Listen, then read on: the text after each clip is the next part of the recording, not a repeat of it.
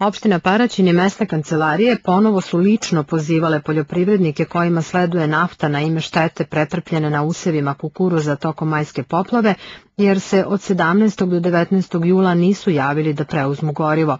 Prvog dana podele prema spiskovima dobijenim od Kancelarije vlade Republike Srbije za obnovu i pomoć poplavljenim područjima, poljoprivrednicima koji su prijavili štetu od poplave na njivama pod kukuruzom, količine koje su im sledovale preuzelo je 212, drugog dana 135, trećeg 116, dok je danas podela nastavljena onima koji iz nekog razloga nisu mogli ranije da preuzmu gorivo.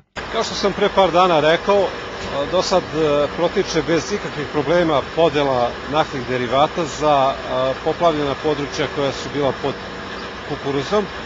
Tako i danas mogu da ponovo najavim nastavak podele naftnih derivata za sve one poljoprivrednike koji nisu preuzeli odgovarajuću, koji nisu preuzeli odgovarajuću količinu koja im sleduje na osnovu dostavljenog spiska iz ministarstva, s tim što će da se podela goriva nastavi do 28.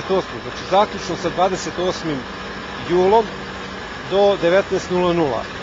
Svi oni koji nisu preuzeli do sad gorivo mogu u ovom periodu koji je ispred nas da, da se jave na benzinskoj stanici ovde u Paraćin nis petrola, da preuzmu odgovarajuću količinu koja im sleduje na osnovu tog spiska koje imamo, a ja sam umeđu vremenu obavio i konsultacije sa nadležnim ljudima iz ministarstva, tako da ćemo biti u, kontaktu, stalnom kontaktu sa njima, da vidimo šta će da se dešava u narednom periodu i kako ćemo sa onom količinom i sa onim ljudima koji ne budu mogli, ne budu u mogućnosti ili nisu doznali šta već bude e, kao problem ja, kod njih e, se manifestovalo, vidjet ćemo šta ćemo sa tim ljudima. Na spisku za preuzimanje goriva iz poplavljenih područja opštine Paraćin je ukupno 606 zemljoradnika koji su prijavili štetu na njivama pod kukuruzom.